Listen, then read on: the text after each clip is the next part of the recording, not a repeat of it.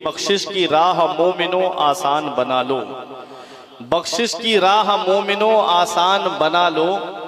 अपने लिए निजात का सामान बना लो। और दुनिया की किताबों पे नज़र बाद में रखना। दुनिया की किताबों पे नज़र बाद में रखना। बच्चों को पहले हाफिज कुरान बना लो। दुनिया की किताबों पे नज़र बाद में रखना। बच्चों को पहले हाफिज कुरान बना लो। सात सागर पार की तालीम ने रुसवा किया। सात सागर पार की तालीम ने रुसवा किया। कामयाबी चाहिए, कुरान सिखाना चाहिए। कामयाबी चाहिए, कुरान सिखाना चाहिए। पैगंबर इस्लाम पे सबसे पहली वही नाजिल हुई। मेरे आका हुजूर सल्लल्लाहु ताला अलैहि वसल्लम तशरीफ़ लाए। आपने कुरान पढ़कर के मुशरकी ने मक्का को सुनाया। तो उन्होंने सुनकर के कहा कि ये जो कलाम मोहम्मद ने सुनाया है, ये तो ऐनिक कलाम मालूम होता है। ये तो अलबेला कलाम मालूम होता है। अगर इसकी तिलावत को रोका नहीं गया तो बहुत जल्द लोग इसके गिरविदा हो जाएँगे। उन्होंने एक मजल से शूरा रखी। और उसमें ये मशवरा तय हुआ कि जो भी आए उसे इस कलाम को सुनने से रोको। जो भी रास्ता मक्के में आता था, हर रास्ते पे अपने लोग बिठा दिए और जैसे ही वो मक्के में दाखिल होते, उनके कानों के अंदर रुई डाल दी जाती, बंद कर दिया जाता ताकि कुरान को वो सुन ना सके। अगर इस पे भी ना माने तो कैद करो। उस पर भी ना माने तो उनको नेजों से गोद डालो। अगर इस पर भी वो ना माने तो जलते हुए आग के शोलों पे लिटा दो। लेकिन याद रखो, वो नेजे मारते रह गए, वो मक्के के कुफार लोगों को सताते रह गए लेकिन कुरान ऐसा अल्लाह का कलाम है कि कुरान मक्के से निकला, मदीने पहुँचा और मदीने से सारी दुनिया में पहुँच गया। आज ये हमारा कुरान पूरी दुनिया में मौजूद है। आज इस कुरान को आप देखेंगे, उनके एतबार से भी कुछ धार्मिक किताबें हैं। चार वेदाद हैं अठारह पुराण हैं। उनके कौल के मुताबिक उसको आए हुए लाखों साल हो गए। लेकिन आज तक उनको आप देखेंगे तो संस्कृत में ही आपको मिलेगी। लेकिन हमारे कुरान की शान देखिएगा। कुरान आपको चाइना में भी मिल जाएगा। कुरान आपको अंग्रेज़ी में भी मिल जाएगा। कुरान आपको हिंदी में भी मिल जाएगा। कुरान आपको मराठी में भी मिल जाएगा। मैं लैंग्वेज की गिनती गिनाना मेरा मकसद नहीं है। बताना मकसद ये है कि हर मुल्क की ज़रूरत कुरान है। हर इलाके की ज़रूरत कुरान है। हर खत्ते की ज़रूरत कुरान है। हर शख्स की ज़रूरत कुरान है। कुरान वो अल्लाह का कलाम है। रब फरमाता है, वला रतबियों वला याबिसिन इल्ला फ़ी किताब मुबीन। कोई खुशकोतर चीज़ ऐसी नहीं है जिसका ज़िक्र कुरान के अंदर मौजूद ना हो। हीरे कुरान के अंदर मौजूद है, सदफ कुरान के अंदर मौजूद है, गौहर कुरान के अंदर मौजूद है। और जिस मरीज़ को दुनिया के डॉक्टरों ने लाइलाज कर दिया हो, उसकी शिफा भी कुरान के अंदर मौजूद है। बस शर्त के इतना इल्म होना चाहिए, इतनी सलाहियत होनी चाहिए, इतनी काबिलियत होनी चाहिए। कुरान कैसा अल्लाह का कलाम है। अब मैं आपको बताता हूँ, हर चीज़ का बयान कुरान के अंदर मौजूद है। लोगों ने कुरान पे रिसर्च करके किसी ने समंदर से मोती निकाले, किसी ने सूरज की शुआओं पे कमन डाली। कुरान वो अल्लाह का कलाम है। आज हमारा रिश्ता कुरान से दूर होता जा रहा है। आज हमने कुरान को इतने ऊपर सजा करके रख दिया है, जहाँ हमारा हाथ भी नहीं पहुँचता और हमने टीवी को सामने रख दिया है। वही हर वक्त हमारे घर में फ़िल्मों की बातें, वही हर वक्त हमारे घर में गानों की बातें, वही हर वक्त हमारे घर में इलेक्शन की बातें, वही हर वक्त हमारे घर में सियासत की बातें। जिस कौम के घर से सुबह को कुरान की तिलावत की आवाज़ आती थी, आज वही कौम कुरान की तिलावत से दूर होती जा रही है। वो मुआज़ थे जमाने में मुसलमान होकर, और हम ख्वार हुए तारीख कुरान होकर। दर से कुरान अगर हमने भुलाया होता, ये जमाना ना जमाने ने दिखाया होता। हमें करनी है शहनशाह बता की रजा जोई, वो अपने हो गए तो रहमत परवरदिगार अपनी, तरीके मुस्तफ़ा को छोड़ना है वजह बर्बादी। इसी से कौम दुनिया में हुई बे इकतदार अपनी। ये कुरान क्या है? जब तक कुरान नहीं आया था, क्या था? लोग पैदल चला करते थे। जब तक कुरान नहीं आया था, लोग ऊँटों पर उचक करके चला करते थे। जब तक कुरान नहीं आया था, लोग घुड़सवारी किया करते थे। अरे कुरान क्या आया? हवाई जहाज़ का फार्मूला हमको मिल गया। कुरान क्या आया? रेल का फार्मूला हमको मिल गया। अब आप कहोगे, मौलाना, आप किसी बात करते हो? कुरान साढ़े चौदह सौ साल पहले आया है और रेल अभी ईजाद हुई है। फ़्लाइट जहाज़ अभी ईजाद हुआ है। तो मैं कहूँगा, ज़रूरत ईजाद की माँ होती है। उस दौर में इसकी ज़रूरत थी। उस दौर में पैदल चलने की ज़रूरत थी। उस दौर में लोग ऊंटों पे सवारी किया करते थे। उस दौर में लोग घोड़ों पे सवारी किया करते थे। मुस्तफ़ा जाने रहमत के गुलामों ने एक पैगाम भी दिया है। उन्होंने दरिया के ऊपर अपने घोड़े डाल करके दुनिया वालों को एक पैगाम दिया था कि लोगों जहाज़ बना लोगे, पनडुब्बी बना लोगे, लेकिन मुस्तफ़ा जाने रहमत के गुलामों का जवाब कहाँ से लाओगे? जहाज़ की तरह घोड़ों को दरिया पे दौड़ा करके पनडुब्बी की तरह घोड़ों को दरिया पे दौड़ा करके दुनिया वालों को ये पैगाम दे दिया कि जहाज़ बना लोगे स्टीमर बना लोगे बहरी जहाज़ बना लोगे, लेकिन मदीने वाले मुस्तफ़ा के गुलामों का जवाब कयामत तक नहीं ला पाओगे। घोड़े दरिया पे दौड़ाए, डॉक्टर इकबाल पुकार के कहते हैं दी अजाने कभी यूरोप के कलीसाओं में, कभी तप अफ्रीका के तपते हुए सहराओं में तल ना सकते थे। अगर जंग में अड़ जाते थे, कलमा पढ़ते थे, हम छाओ में तलवारों की, और दस्त तो दस्त है। दरिया भी ना छोड़े हमने पहले जुल्मात में दौड़ा दिए घोड़े हमने। ये मदीने वाले मुस्तफ़ा के गुलाम हैं। अब आओ, जहन को करीब करो। कुरान है क्या? हर चीज़ का बयान कुरान के अंदर मौजूद है। हर चीज़ का ज़िक्र कुरान के अंदर मौजूद है। आज हाफिज कुरान आपकी निगाहों के सामने है।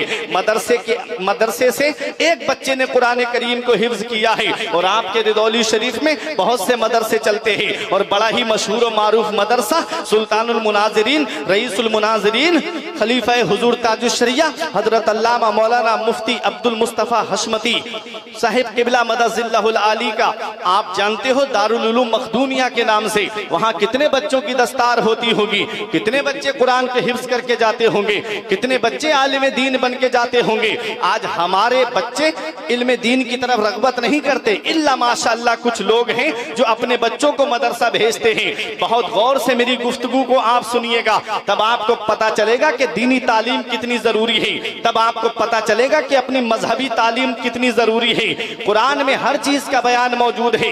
हर चीज़ का ज़िक्र कुरान के अंदर मौजूद है। आपको मैं बताता हुआ चलूँ। सुबह को जब अपने घर पर जाओ तो अब आप तो मोबाइल हर हाथ में है ना? हर हाथ में मोबाइल है, हर जेब में मोबाइल है। तो सुबह को जाकर के आप अपने मोबाइल पर सर्च कीजिएगा गूगल पे जाकर के। एक डॉक्टर का नाम, जिसको डॉक्टर मूरिस बुकैल कहते हैं। Doctor Maurice Bucaille dot com जब आप डालेंगे, ये ये डॉट कॉम आपके रिदौली शरीफ से नहीं पड़ी है, ये डॉट कॉम बरेली शरीफ से नहीं पड़ी है, बल्कि ये अमेरिका से पड़ी है, और एक क्रिश्चियन, एक ईसाई डॉक्टर ने डाली है, नाम है डॉक्टर मूरिस बुकैल। ये एक यूनिवर्सिटी के अंदर एग्रीकल्चर के प्रोफेसर थे, लोगों को शोबा जरात पढ़ाया करते थे। एक दिन उनके वाइस चांसलर ने कहा, क्या कहा कि तुम मिस्र चले जाओ और वहाँ जाकर के दरियाए नील के पानी के ऊपर रिसर्च करो। क्यों? क्योंकि शोबा जरात का एक शोबा जो है वो पानी भी है। क्या इस कौन से पानी से खेती उपजाऊ होती है? कौन से पानी से खेती होती है? कौन सा पानी जो है उपजाऊ ज़्यादा होता है? और कहाँ का पानी खेती को बर्बाद कर देता है? जाओ और जाकर के वहाँ पर रिसर्च करो। अपने चंद साथियों को लिया डॉक्टर मूरिस ने और अपनी तजर्बे का ली, अपनी लिबर्टी ली और लेकर पहुँचे। एक दिन सुबह के वक्त दरिया नील के किनारे पे चल रहे थे। अचानक इनके पैर से एक लाश टकराती है। जब उसके पैर को जब लाश टकराई तो उस लाश को निकाला बहुत लंबी लाश थी। उस लाश को जब निकाला निकालने के बाद अपने साथियों से कहने लगे इतने लंबे लोग तो अब नहीं पाए जाते हैं। अठारह सौ अट्ठानवे की बात है। कहा अब इतने लंबे लोग तो पाए नहीं जाते हैं। ये लाश किसकी हो सकती है? इस ला, ये लाश किसकी है? अब जहन में बात बढ़ती चली गई और फिर देखने लगे ये लाश मिट्टी के अंदर दबी हुई है। इसकी आँखें भी सलामत हैं, इसके पैर भी सलामत हैं, इसके हाथ भी सलामत हैं, इसके सर के बाल भी सलामत हैं, इसकी भों के बाल भी सलामत हैं। अरे ये लाश है तो है किसकी? उठा करके अपनी लिबर्टी में लेकर के आए और ला करके उस लाश को रख दिया गया। अब सोचने लगे कि ये लाश है किसकी? आपने पूरी बाइबल पढ़ डाली, लेकिन पता नहीं चला। और भी धार्मिक किताबें पढ़ी, लेकिन उस लाश के बारे में नहीं पता चला। कहने लगे कि लाओ, कुरान भी तो पढ़ करके देखें। कुरान भी तो धार्मिक किताब है। कुरान भी तो अल्लाह का कलाम है। लाओ, कुरान भी तो पढ़ करके देखें। फिर कहने लगे, हमारे सेंटों ने बताया है, हमारे पोप ने बताया है। कि ये कुरान अल्लाह का कलाम नहीं है, बल्कि मोहम्मद का अपना बनाया हुआ कलाम है। ये मक्के के कुफार भी कहते थे, जब नबी ने कुरान पढ़ करके सुनाया कि कुरान को जब सुना तो कहने लगे कि ये कलाम अल्लाह का नहीं है। मोहम्मद चंद जुमले अरबी के हुजरे में जोड़ करके हमारे सामने ला करके पेश कर देते हैं और कहते हैं कि ये अल्लाह का कलाम है। जब कुफार मक्का ने कहा कि ये कुरान अल्लाह का कलाम नहीं है तो पहला चैलेंज दिया गया जो पंद्रहवें पारे में है। रब ने फरमाया कुल्ला इनिजतमातिल इंस वल जिन अला अन यातू बिमिस्ली हाज़ल कुरान ला यातूना बिमिस्ली वलो काना बादुहुम लिबादिन ज़हीरा अल्लाह ने फरमाया महबूब इनसे कह दो तमाम इंसान और तमाम जिन्नात जमा हो जाएँ किस पर अला अन यातू बिमिस्ली हाज़ल कुरान इस कुरान की मिस्ल लाने पर ला यातूना बिमिस्ली वो हरगिज इसकी मिस्ल नहीं ला पाएँगे वलो काना बादुहुम लिबादिन ज़हीरा अगरचे उनमें का बाज बाज का ताउन क्यों ना करे अगरचे बाज उनमें का बाज की मदद क्यों ना करे? वो कुरान की मिसल नहीं ला सकते। कुफारे मक्का का नातिका बंद हो गया। उन पे खामोशी छा गई। अब चैलेंज और हल्का कर दिया गया। अब ग्यारहवें पारे में चलो। रब फरमाता है, महबूब, ये पूरा कुरान क्या ला पाएँगे? पूरे कुरान में 114 सूरतें हैं। इनसे कह दो कि 10 सूरतों की मिसल बना करके ले आए। वे अशर सुवर मुफ्तरायात 10 सूरतों की मिसल बना करके ले आए। तारीख बताती है, वो 10 सूरतों की मिसल भी बना करके ना ला सके। अब चैलेंज और हल्का कर दिया गया। पहले पारे में जो चैलेंज दिया गया है, वह इन कुंतुम फ़ी रैबी मिम्मा नज़्ज़लना अला अब्दिना फातू बिसूरतिन मिन मिस्ली वदउ शुहदाअकुम मिन दूनिल्लाह। रब ने फरमाया, महबूब, ये कहते हैं कि ये अल्लाह का कलाम नहीं है, बल्कि ये आपका अपना बनाया हुआ कलाम है। तो इनसे कह दो, पूरे कुरान में है वो रोटी लाए तो वालिद की आवाज़ आती, या वालदा की आवाज़ आती कि बेटा रुको अभी दरवाज़ा, वालिद की आवाज़ आती, या वालदा की आवाज़ आती कि बेटा रुको अभी दरवाज़ा खोलते हैं? ये कौन है जो कदमों की आहट से पहचान लेते हैं? औलाद बाहर चली जाए, बाप को रात में नींद नहीं आती, माँ को औलाद बाहर चली जाए। माँ उस को देखा, अल्लाह अकबर, एक दिन आएगा कि कोई खैरियत लेने वाला तक नहीं होगा। कोई फ़ोन पे तुम्हारी खैरियत तक मालूम करने वाला नहीं होगा। जिस दिन बूढ़े माँ बाप की चारपाई घर से उठ गई, उस दिन कोई मिजाज पूछने वाला तक नहीं होगा। अगर माँ बाप ज़िंदा है तो कदर कर लो। माँ बाप ज़िंदा है तो उनकी खिदमत कर लो। मैं मानता हूँ। माँ बाप को उनका हक दो बीबी को उसका हक दो। आज बीबी की मोहब्बत में आदमी माँ बाप का बिस्तर घर से बाहर कर देता है। इतना याद रखना बीबी की जन्नत शौहर की फर्मा बरदारी में है और शौहर की जन्नत उसके माँ बाप की फर्मा बरदारी में है अगर माँ बाप उससे राज़ी है तो उससे अल्लाह राज़ी है, उसका रसूल राज़ी है, और बीबी देख ले, अगर उसका शौहर उस पर सौली वालों, अगर तुमसे माँ बाप नाराज़ है तो ना तुमसे अल्लाह राज़ी है, ना उसका रसूल राज़ी है। घर में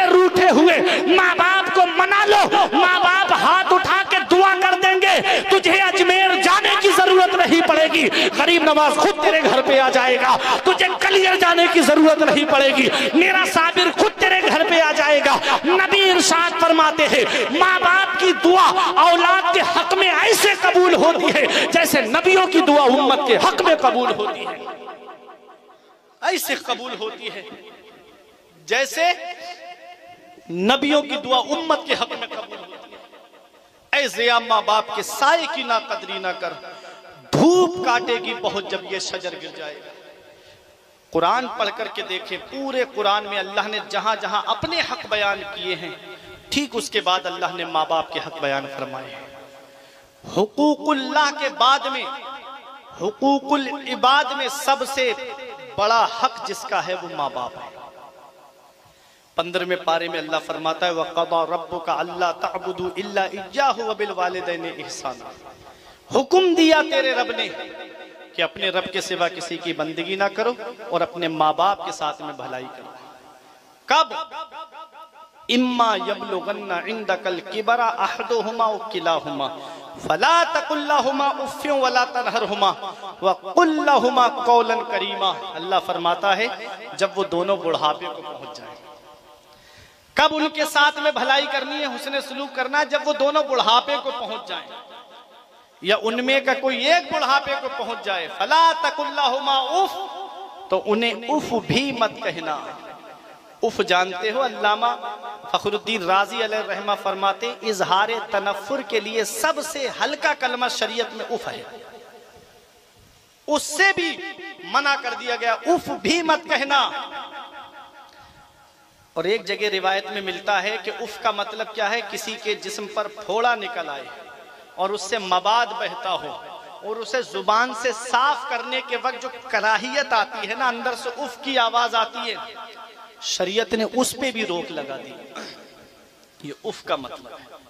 बहुत अलग अलग तशरीहात की गई है। उफ की मैं अलग नहीं जाऊँ, उसमें नहीं जाना चाहता। कुरान कहता है, जब वो दोनों बुढ़ापे को पहुँच जाएँ तो उन्हें उफ भी मत कहना, उन्हें झिड़कना नहीं। उनसे तेज तर्रारी से बात मत करना। उनसे ज़ोर से बात मत करना। उलमा फरमाते हैं, औलाद को माँ बाप से ऐसे बात करनी चाहिए जैसे एक गुलाम अपने आका से बात करता है, जैसे एक नौकर अपने मालिक से बात करता है। इतने सुकून के साथ में उनसे बात करनी चाहिए। याद रखो, प्यारे मुसलमानों, अल्लाह ने कुरान में फरमाया, जब भी बोलो तो उनसे मोहब्बत के साथ बोलो, प्यार के साथ बोलो। बात खत्म करने जा रहा हूँ। जब भी बोलो तो प्यार के साथ बोलो। प्यार के साथ बोलो। आज माँ बाप से कैसे कलाम किए जा रहे हैं? घर के अंदर देख आ, हालात मुझसे ज़्यादा आप जानते हो। ये मुसीबतें यूँ ही हमारे ऊपर नहीं आई हैं आज। आज हमारी नई नस्ल तबाही के उस दहाने पे पहुँच गई है। कि इसको वापस लाना बहुत मुश्किल होता जा रहा है। हालात आज ऐसे हो गए, मेरी कौम के, नौजवानों के, कि माँ बाप की जर्रा बराबर इज़्ज़त नहीं हो रही घरों के अंदर।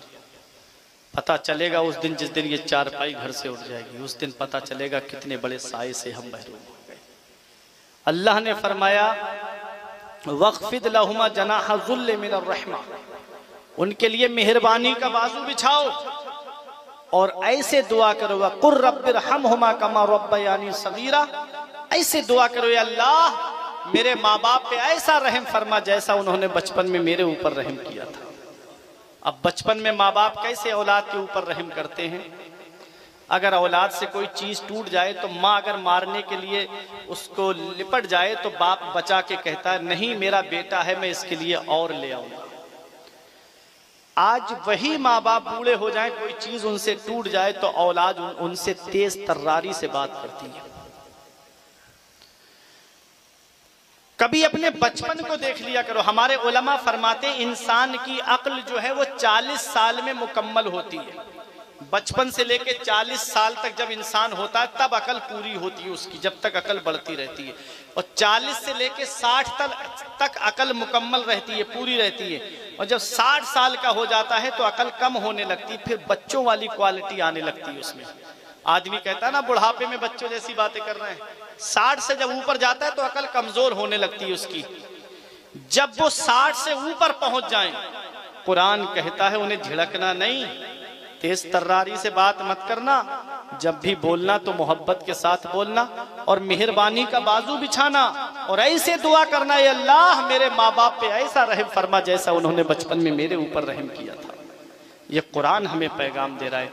हदीसें बताऊँगा, बहुत हदीसें हैं। बताना मकसद ये है कि माँ बाप अल्लाह की बहुत बड़ी नेमत है।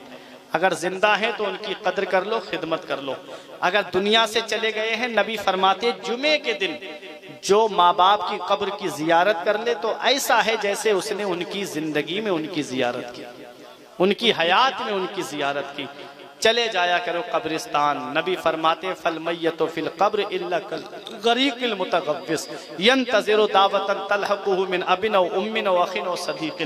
जो कब्रिस्तान में लेटे हैं, वो दरिया में डूबने वाले की तरह है। वो इंतज़ार कर रहे हैं, दुआ का इंतज़ार कर रहे हैं। बाप औलाद की दुआ का इंतज़ार कर रहा है। औलाद बाप की दुआ का इंतज़ार कर रही, भाई भाई की दुआ का इंतज़ार कर रहा है।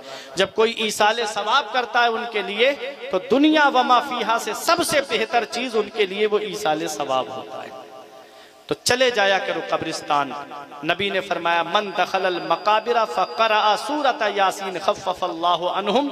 जो कब्रिस्तान जाए और एक मरतबा सूरह यासीन शरीफ पढ़ दे तो अल्लाह ताला कब्रिस्तान के मुर्दों के अजाम में कमी कर देता है और पढ़ने वाले को तादाद के बराबर सवाब अता फरमाता है। सरकार गौसे आज़म की वालिदा ने अपने बेटे को बुढ़ापे की आड़ नहीं बनाया। कहा, जा मेरे लाल इल्म हासिल करने जाना चाहता है तो जा। आप बगदाद आए, मदरसा निजामिया में आपने तालीम हासिल की और तालीम हासिल करने के बाद गौसे आज़म ने तदरीस का मिंबर संभाला, मदरसे में बैठ करके पढ़ाया। मदरसे की बात चल रही है ना? हाफिज कुरान की बात चल रही है ना? सरकार गौसे आज़म ने मदरसे में बैठ के 40 साल पढ़ाया है परसोली वालों। हाफिज मिल्लत फरमाते इस्लाम की खिदमत करने के तीन नुमाया तरीके हैं। पहला तरीका है तदरीस, दूसरा तरीका है तसनीफ और तीसरा तरीका है तकरीर। तदरीस के ज़रिए इस्लाम की खिदमत होती है, तसनीफ के ज़रिए इस्लाम की खिदमत होती है और तकरीर के ज़रिए इस्लाम की खिदमत होती है। सरकार गौसे आज़म ने तीनों तरीके अपनाए। पहले तदरीस का तरीका अपनाया, आपने मदरसे में बैठ के पढ़ाया, चालीस साल मदरसे में बैठ करके पढ़ाया। एक दिन में तेरह उलूम पढ़ाते थे सरकार गौसे आज़म। और सरकार गौसे आज़म के मदरसे से हर साल तीन हज़ार तालब इल्म, आलिम, फाजिल, मुफ्ती बन के निकलते थे। अब जरा जोड़ के देखो, सरकार गौसे आज़म ने 40 साल पढ़ाया है और हर साल तीन हज़ार तालब इल्म, आलिम, फाजिल बन के निकलते थे। एक लाख बीस हज़ार आलिम सरकार गौसे आज़म ने इस कौम को अता फरमाए एक लाख बीस हज़ार आलिम दिए सरकार गौसे आज़म ने इस कौम को। फिर आपने तसनीफ का तरीका अपनाया। कुरान शरीफ की तफसीर छह जिल्दों में तफसीर जीलानी है, उसको आपने लिखा। आपने फतूहुल गैब किताब को लिखा, तंबीहुल गाफिलीन को लिखा, किताबें लिख कर के इस्लाम की खिदमत की। अब मदरसे से हर आदमी तो फ़ायदा उठा नहीं सकता। किताबों से हर आदमी फ़ायदा उठा नहीं सकता। वो फ़ायदा उठा सकता है जो मदरसे में आलिम के पास पढ़ने आए। या फ़ायदा वो उठा सकता है किताबों से जो पढ़ा लिखा हो। अब जो पढ़ा लिखा नहीं है, आलिम के पास आया नहीं है तो उसके लिए कैसे फ़ायदा पहुंचेगा? तो तीसरा तरीका है इस्लाम की खिदमत करने का तकरीर। वाज के ज़रिए, तकरीर के ज़रिए इस्लाम की खिदमत होती है। आज तकरीरें भी ऐसी हो रही हैं रजमम बिल गैब बातें चल रही हैं। इल्ला माशा अल्लाह पूरी पूरी तकरीरें अफसाना निगारी पर, पूरी पूरी तकरीरें अगर किताबों में देखा जाए तो इल्ला माशा अल्लाह शायद किसी वाक़े का हवाला मिल जाए। कुरान और हदीस की बातें तो होती नहीं हमारे बुज़ुर्गों का तरीका था, हमारे असलाफ का तरीका था। वो पहले कुरान की आयत पढ़ते थे, फिर उसके तनाजुर में हदीस पाक को पढ़ा करते थे, फिर उसके बाद अकबाल बुजुर्गान दीन को पेश किया करते थे। आज खुतबा की इल्ला माशा जो हैं, वो हैं। पूरी पूरी तकरीरें हो जा रही हैं। कुरान की एक आयत पढ़ करके नहीं सुनाई जाती। हदीस, एक हदीस पाक को पढ़ करके उसका तर्जमा कर करके नहीं सुनाया जाता। फिर भी कौम के दरमियान वो बहुत बड़े आलिम और मुफ्ती बने हुए हैं, जिन्होंने मदरसे का रुख कभी नहीं देखा। आज वो मुफ्ती बने हुए हैं। इल्ला माशाल्लाह, मैं सबको नहीं कहता, तोहीन करना मेरा मकसद नहीं है। लेकिन मैं अपनी कौम को सच्चाई तो बता सकता हूँ। आलिम डॉक्टर की तरह होता है। जैसे डॉक्टर के पास मरीज़ जाए तो जो तकलीफ़ मरीज़ के अंदर होती है, डॉक्टर उसी की दवा देता है। आलिम को भी चाहिए कि वो अपनी कौम को वो बातें बताए, ताकि उनके अमाल की इसलाह हो जाए। आज अमाल पे ज़्यादा ध्यान दिया जा रहा है, अकायद खराब होते चले जा रहे हैं। अकीदे की बातें कोई नहीं करता। अकीदे खराब होते चले जा रहे हैं। अमाल की बात बताई जा रही है। अगर अकीदा दुरुस्त नहीं होगा तो अमल भी काम नहीं आएगा। अकीदा दुरुस्त होगा तो अमल भी काम आएगा। अकीदे के साथ साथ अपना अमल भी सवारो। जब इस हाल में दुनिया से जाओगे, तब तुम्हारे लहिद में इश्क रुखे शह का दाग लेके चले, अंधेरी रात सुनी थी, चराग लेके चले। तेरे गुलामों का नक्शे कदम है राह खुदा, वो क्या बहक सके जो ये सुराग लेके चले? तो तीसरा तरीका है इस्लाम की खिदमत करने का तकरीर। जो लतीफे सुनाए, कॉमेडी करे, हँसी मज़ाक की बातें करे, वो आलिम नहीं, बल्कि मैं तो यूँ कहूँगा कि वो एक मसखरा है। जो कौम को हंसा के चला जाए, लतीफे सुना करके चला जाए, आज कौम हमारी तबाही के उस दहाने पे पहुँच गई, इसको वापस लाना बहुत मुश्किल होता जा रहा है। और इन पेशावर हंसाने वालों ने, चुटकुले लतीफे सुनाने वालों ने जो है कौम को तबाह कर दिया। सुबह को पूछा जाए, रात जलसा कैसा हुआ था? अरे, बहुत हंसाया था मौलाना साहब ने। बहुत मज़ा आया था, लौट जा रहे थे हँसते हँसते हम। अल्लाह खुदा रात जलसों को बर्बाद ना करो। और आज जलसों में जितना पैसा खर्च हो रहा है, इस पैसे को बचा करके रखो। मैं ये नहीं इरादा करके आता हूँ कि मुझे हर साल कोई बुलाए, लेकिन सच्चाई अपनी कौम को मैं बता के ज़रूर जाऊँगा। हुजूर नजीम मियाँ महरेरा शरीफ वाले रफ़ीक मिल्लत फरमाते, जल से हल्के कर दो, मदरसों को मज़बूत करो। जल से हल्के करो, मदरसे मज़बूत करो। तुम एक लाख की चादर मजार पे जाके चढ़ा दो, किसी को कोई फ़र्क नहीं पड़ेगा। पचास हज़ार का बैंड बजवाओ लड़के की शादी में, किसी को कोई फ़र्क नहीं पड़ेगा। एक लाख रुपए डांस पार्टी में लुटा देना, किसी को कोई फ़र्क नहीं पड़ेगा। फ़र्क पड़ता है तो मदरसे से पड़ता है। फ़र्क पड़ता है तो दीनी दरसगाह से पड़ता है कि अगर एक बच्चा हाफिज बन गया है, एक बच्चा आलिम बन गया है तो कितनों को हाफिज बनाएगा, कितनों को आलिम बनाएगा? परसौली वालों, अपने कीमती पैसे को बचा करके रखो और अपने मदरसे में खर्च करो। अगर तुम्हारे पैसे से एक बच्चा भी आलिम बन गया, एक बच्चा भी हाफिज कुरान बन गया तो कयामत में यही एक बच्चा तुमको बख्शवाने के लिए काफ़ी हो जाएगा। नबी फरमाते हैं, जो कुरान पढ़े और उस पर अमल करे, उसके हलाल को हलाल जाने, उसके हराम को हराम जाने तो अल्लाह ताला उसके परिवार के दस ऐसे लोगों की मगफिरत फरमाएगा जिनके ऊपर जहन्नम वाजिब हो गई होगी। वो हाफिज कुरान अपने परिवार के दस ऐसे लोगों को, जिनके ऊपर जहन्नम वाजिब हो गई होगी, जन्नत में लेकर के जाएगा। जन्नत में लेकर के जाएगा। और आलिम की तो शान का आलम ही मत पूछिएगा, जन्नत के दरवाजे पर रोक दिया जाएगा आलिम को। आलिम को रोक दिया गया, आलिम कहेगा, मौला मुझे क्यों रोक दिया गया? रब फरमाएगा, तूने दुनिया में इस्लाम की खिदमत की है। हाफिज के लिए कैद है कि वो दस की शफात करे। हाजी बामल हाजी के लिए कैद है कि वो सत्तर की शफात करे। तेरे लिए कोई कैद नहीं है, तू जितनों को चाहे, उतनों को बख्शवा के जन्नत में लेकर चले इमाम हसन फरमाते हैं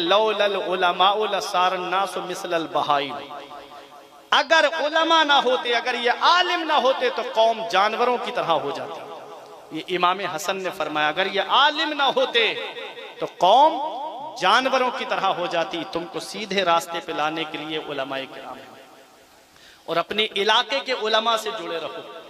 मैं बरेली शरीफ से नहीं आऊँगा तुमको जवाब देने के लिए। अपने इलाके के उलमा के दामन को पकड़े रहो, अपने इलाके के उलमा को मज़बूत करो, ताकि जब भी तुम्हारे ऊपर कोई कुफर की तुंद आंधी आएगी तो सीना से पर सामने खड़े होने वाले तुम्हारे इलाके के आलिम होंगे। तो अब ये एक मेरा पैगाम था। अल्लाह ने कुरान में फरमाया, इकरा बिस्म रबी लजी खलक। महबूब, पढ़िए उस रब के नाम से जिसने आपको पैदा किया। अल्लाह ने पहली आयत करीमा अपने महबूब पर नमाज़ के ताल्लुक से नाजिल नहीं फरमाई, ना रोज़े के ताल्लुक से आई, ना हज के ताल्लुक से आई, ना जक़ात के ताल्लुक से आई। सबसे पहला हुक्म दिया गया, पढ़िए, रीड, पढ़िए, इल्म हासिल कीजिए, तालीम हासिल कीजिए इल्म कितना ज़रूरी है? तालीम कितनी ज़रूरी है? एजुकेशन कितना ज़रूरी है? शिक्षा कितनी ज़रूरी है? हज़रत अब्दुल्ला इबन मसऊद फरमाते हैं, मन आरदल इल्म बिल कुरान जो इल्म हासिल करने का इरादा करे, उसे चाहिए कि वो पहले कुरान की तालीम हासिल करे। अपने बच्चों को मदरसा भेजो, कुरान की तालीम हासिल कराओ, फिर उसके बाद स्कूल, कॉलेज, जहाँ चाहो वहाँ भेजना। पहले बच्चों को कुरान की तालीम सिखाओ। इमाम गजाली फरमाते अगर कुरान की तालीम नहीं दी औलाद को, औलाद ऐसे ही जाहिल दुनिया से चली गई। दुनियावी तालीम आपने दी, दीनी तालीम नहीं दी तो ये औलाद कयामत में अपने बाप को खींच के लाएगी रब की बारगाह में। कहेगी, मौला, ये मेरा बाप है, ये मुझे भूखा रखता, ये गवारा था। नंगा रखता, ये गवारा था। प्यासा रखता, ये गवारा था। इसने मुझे कुरान की तालीम नहीं सिखाई, जिसकी वजह से ना जायज़ ना जायज़ कुछ भी मैं नहीं जान पाया, हलाल और हराम में भी कोई तमीज़ नहीं कर पाया, जिसकी वजह से आज मैं जहन्नम जा रहा हूँ। मौला, मैं तनहा नहीं जाऊँगा, अपने बाप को अपने साथ जहन्नम लेकर के जाऊँगा। दौलत औलाद के लिए जमा करके गए, पैसा औलाद के लिए जमा करके गए, वही औलाद जहन्नम में ले जाने का ज़रिया बन गई। तो ऐ मेरे प्यारे मुसलमानों, परसोली वालों अल्लाह ने औलाद दी है, पाँच बेटे दिए हैं तो कम से कम एक बच्चे को आलिम या हाफिज ज़रूर बनाना। तीन बेटे दिए हैं तो एक बच्चे को मदरसे में ज़रूर भेजना। अगर चाहते हो बुढ़ापे में चैन से रोटी मिल जाए माँ बाप सबके लिए पैगाम है, चाहते हो बुढ़ापे में रोटी चैन से मिले और पैर दबाने वाली औलाद हो तो अपनी औलाद को आलिम या हाफिज बना देना। मैंने देखा है बच्चा डॉक्टर या इंजीनियर बन जाए तो माँ बाप डरते हैं कि बेटे से कैसे बात करें कि कहीं बेटा नाराज़ ना हो जाए। और वही बेटा अगर आलिम या हाफिज बन जाता है, फिर वो डरता है अपने माँ बाप से कि मैं अपने माँ बाप से कैसे बात करूँ, कहीं मेरे माँ बाप मुझसे नाराज़ ना हो जाए। मेरे माँ बाप नाराज़ हो गए तो मुझसे अल्लाह नाराज़ हो जाएगा, उसका रसूल नाराज़ हो जाएगा। तो अपने मदरसे मज़बूत करो, अपनी दरसगा मज़बूत करो, अपने उलमा को मज़बूत करो। इनका ख्याल रखो, मदरसों का ख्याल रखो। और जो भी दीनी मामला आपके सामने पेश आए, अपने उलमा की तरफ़ रगबत करो। मैंने चंद बातें आपके सामने बयान की, वक्त बहुत ले लिया आपका। 10 से 15 मिनट मांगे थे, तकरीबन एक घंटा 15 मिनट हो गए मुझे बयान करते हुए। परवरदिगार आलम की बारगाह में मैं दुआ करता हूँ, मौला मुझे, मेरे कोई गलती हो गई हो सबकत लसानी की वजह से, या बतकाज़ा बशरियत तो मौला मुझे माफ़ फरमाए। अस्तक फिर रबी मिन कुल्ले जम्बे वतूब मेरे साथ मिलकर के कलमा तैयब पढ़ने, ला इलाहा मोहम्मद रसूलुल्लाह सल्लल्लाहु अलैहि वसल्लम, ये ज़िंदगी सवारी दिलशाद कीजिए, लम्हात ज़िंदगी के न बर्बाद कीजिए, जब मकसद हयात इबादत खुदा की है, पढ़िए नमाज़, मस्जिदें आबाद कीजिए, सभी के सामने एक दिन ज़रूर आता है, ये हुस्न फ़ानी है लेकिन गुरूर आता है, किसी क्रीम से, पाउडर से कुछ नहीं होता, नमाज़ पढ़ने से चेहरे पे नूर आता है। किसी क्रीम से पाउडर से कुछ नहीं होता। नमाज़ पढ़ने से चेहरे पे नूर आता है। तेरे होठों पे जमाने की बुराई कैसी? एक कतरे की समंदर से लड़ाई कैसी? अपनी बिगड़ी हुई औलाद पे रोने वाले कुछ जरा सोच खिलाई थी कमाई कैसी? परवर दिगारे आलम